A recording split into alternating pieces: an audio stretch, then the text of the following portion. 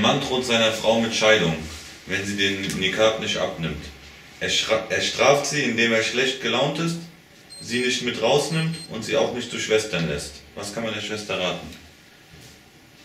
Allah subhanallah, es ist, Dunya asbahat Dunya ist so geworden, umgekehrt geworden.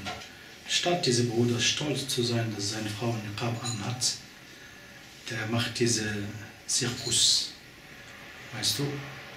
Und äh, wenn das von Kuffar kommt, das kann man verstehen, weil die Kuffar sind. Die haben nicht richtig, richtig Islam also verstanden. Nicht nur Islam, sondern auch, die haben auch nicht ihre Religion, was sie auch folgen in Klammer, nicht auch verstanden. Weil im Christentum ist auch Niqab. Ist auch im Judentum auch ein Niqab. Und auch bei alten Diktatoren sogar haben die auch nicht mit, mit, mit Religion zu tun, trotzdem, nur darf nicht seine Frau sehen.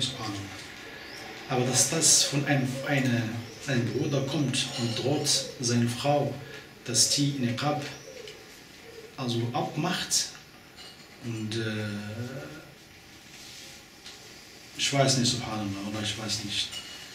Also ich kann nur sagen, dass die Schwester Mgaladi, Mgaladi also beistehen und helfen, weil es gibt jetzt Schwestern, die Männer geworden sind. Es gibt manche Brüder, die Frauen geworden sind. Obwohl man hier unter Druck lebt und äh, von Kuffar und auch wenn das auch extra von deinem Mann auch kommt, ist noch schlimm.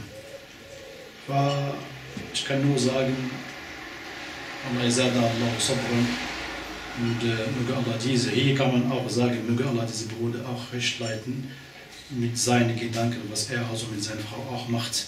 Und normalerweise sei stolz, dass du solche Frau auch hast und nicht, dass du solche Frauen, die wie Froschen also auf die Straße laufen, war ich bin sprachlos, Allah. Und bei so Sachen, ich kann gar nichts sagen ich kann nur sagen, Megala, die Schwester, Standhaftigkeit inshallah so geben und auch Al-Firdaus al-Ala geben. Wallahu alama. Barakallahu fikum, jazakum Allah khair.